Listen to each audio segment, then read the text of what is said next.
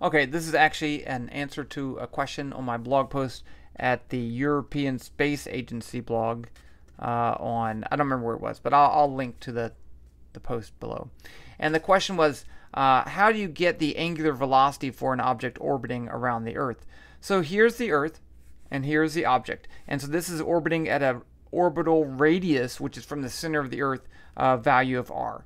Okay. So the first thing is there is a gravitational force acting on the spacecraft or satellite or whatever, uh, pulling it towards the center of the Earth. And the magnitude of that force, it's a gravitational interaction, is going to be F is equal to G, mass of the Earth, mass of the object, over r squared. This is the universal gravitational force.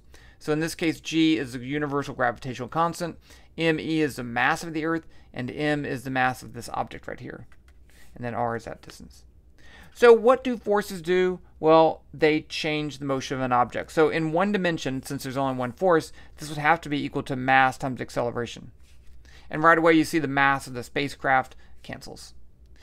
Since the object is moving in a circle, the centripetal acceleration is going to be equal to v squared over r or r omega squared, where omega is the angular velocity. These two are equivalent ways of writing the same thing.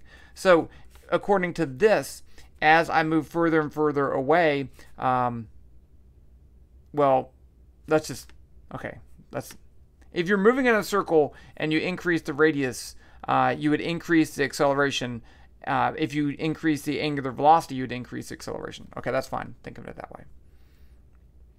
So if I put these two things together, I get g mass of the Earth over r squared equals r omega squared. Now I'm going to multiply both sides by r. No, I'm going to divide both sides by r. And I get these cancel, and I get omega squared equals g me over r cubed, and then I can take the square root of both sides.